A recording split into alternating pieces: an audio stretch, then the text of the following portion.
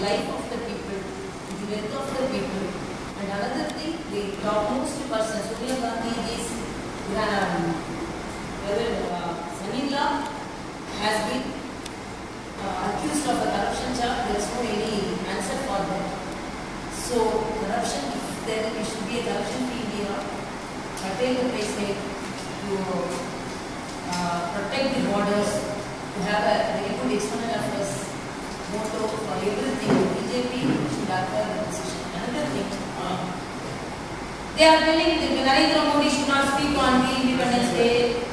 Uh, Narendra Modi has echoed the voice of the.